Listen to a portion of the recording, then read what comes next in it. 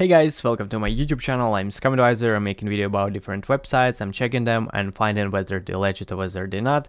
And today's video is about the website called marvelelectronicshop.com. Let's figure out whether this website is safe or you better stay away from this website. So the reason why I decided to make a review of this website is because it has PS5 in stock for pretty adequate price and as you all know this product is very difficult to find online because it's sold out everywhere and the only way to actually get this product is to order it in another country and receive it for triple or double price you all know that. But this website Marvel Electronic Shop basically telling people that it's all the myth and basically you can buy this product for pretty cheap price. So in my opinion it already sounds too good to be true, right? And there are some reasons uh, why I think that this website is kind of suspicious. One of them is that in contact information you can see that this website is using email address uh, which is marvel at deals electronicshop.com uh, but if you check website deals electronicshop.com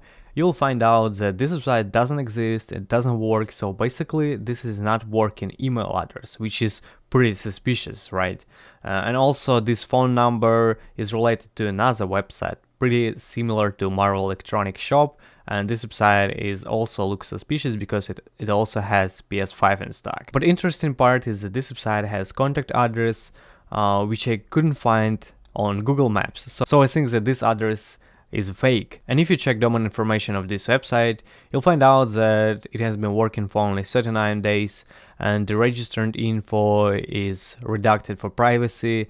So basically it is a new website, it has no reviews, it has too cheap prices, it has very rare product. So I think that this website is not a good place to spend your money because you actually might lose them.